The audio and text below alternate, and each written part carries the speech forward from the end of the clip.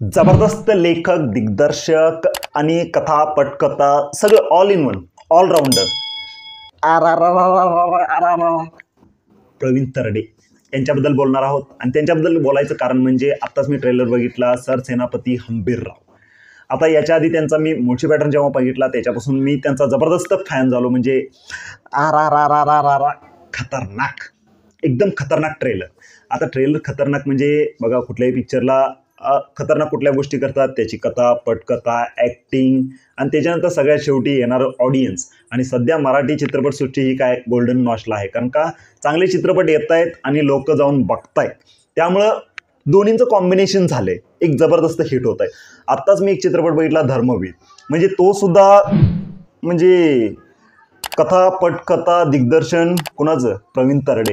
आणि आत्ता याच्यामध्ये तर बघा कथा पटकथा दिग्दर्शन प्रवीण तरडे आणि त्याच्यानंतर मेन रोल लीड रोलसुद्धा प्रवीण तरडे. म्हणजे सर सेनापती हंबीरराव यांच्या रोलमध्ये आहेत प्रवीण तरडे. ज्यावेळी हा ट्रेलर बघितला ट्रेलर बघितल्यावर असं वाटतं की वा अंगाव काटा अंगाव काटाच येतो असा शहारा येतो इतका जबरदस्त तो ट्रेलर आहे. आता ट्रेलर इतका खतरनाक आहे तर पिक्चर कसा असेल तुम्ही फक्त इमॅजिन करा.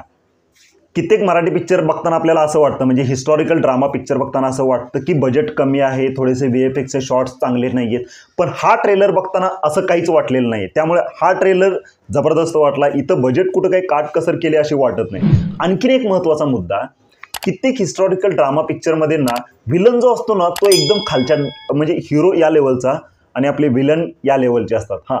तसे आपले हिस्टॉरिकल कॅरेक्टर्स असे आहेत जबरदस्त. त्यांच्यापुढे कुठलाही विलन टिकत नाही.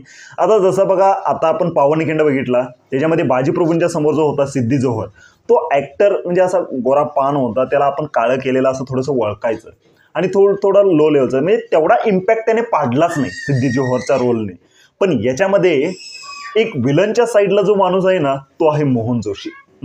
मेन विलन नाही आहे पण त्याच्या साईडला आहे. ती थोडीशी झलक त्याच्यामध्ये दिसली. आणि त्यांचा आवाज. ॲक्टर जबरदस्त आहेतच. म्हणजे प्रवीण तरडेच्या अपोजिट साईडला मोहन जोशी असणार आहेत. म्हणजे जो कोण माणूस असेल त्याचा कोच मोहन जोशी असणार आहे. हे खतरनाक आहे. जितकी काही सिनेमॅटोग्राफी म्हणजे जे काही शॉर्ट्स बघितले ते काय जबरदस्त आहेत बघा. म्हणजे दिग्दर्शन हे जबरदस्त आहेत. सिनेमॅटोग्राफी असू दे किंवा कॅरेक्टरायझेशन असू दे कुठेही असं वाटलं नाही की काहीतरीच दाखवलं आहे बाकी लेखन आ हा हा. डायलॉगचा तर नादच करायचा नाही. अरे परिस्थिती जितकी बिकट मराठा तितका तिखट हे एक डायलॉग असे कित्येक डायलॉग्स आहेत म्हणजे पूर्ण ट्रेलर हा अशा डायलॉगनेच भरलेला आहे. त्यामुळे पिक्चरमध्ये काय असेल बघा तुम्ही फक्त इमॅजिन करा. पिक्चर सुपरहिट असणार आहे त्याच्यामध्ये काही वादच नाही आहे फक्त काय आता ऑडियन्सची साथ भेटली पाहिजे. बॅकग्राऊंड म्युझिक पण ठीकठाक ओके वाटलं म्हणजे इतकं पण खूप छान असं नाही पण इतकं असं पण नाही आहे पण शोभेचं आहे त्याला. आणि सगळ्यात महत्त्वाचं बोलायचं म्हणजे ॲक्शन सीन्स ॲक्शन सीन्स खतरनाक आहेत. आणि काय बॉडी केली हां? प्रवीण तरडे यांनी जी बॉडी केली ना ती जबरदस्त शोभते. सरसेनापती हंबीरराव ती अशी शोभतात. हां पिक्चर पूर्ण डिपेंड असणार आहे. सर सेनापती हंबीरराव यांच्या जीवनावरच असणार आहे. म्हणजे त्यांनी आधी कशी छत्रपती शिवाजी महाराज यांची सेवा केली म्हणजे त्यांच्या आर्मीमध्ये होते. त्यानंतर after the Chhatrapati Shivaji Maharaj he has serve for the Chhatrapati Sambhaji Maharaj. हे पूर्ण चित्रपटात दाखवलं जाणार. इतिहास तसा माहीतच आहे आपल्याला.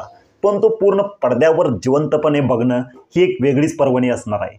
तर माझ्याकडून चित्रपटाचं ती शुभेच्छा आणि तुम्हीसुद्धा हा चित्रपट थिएटरमध्ये जाऊन बघावा अशी माझी इच्छा.